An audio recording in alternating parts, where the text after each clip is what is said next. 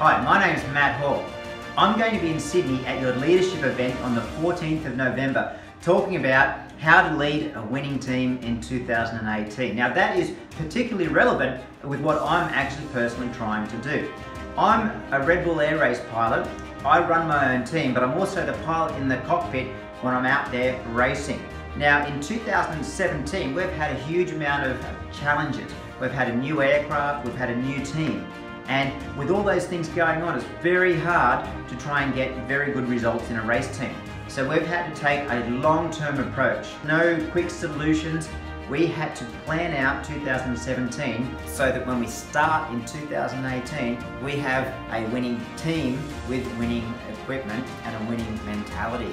Now, as I said, there's no shortcuts to that. It was a long process. It was a frustrating process at times because you know you've got the ability to get great results, but you have to stick to your guns. You have to stick to the plan.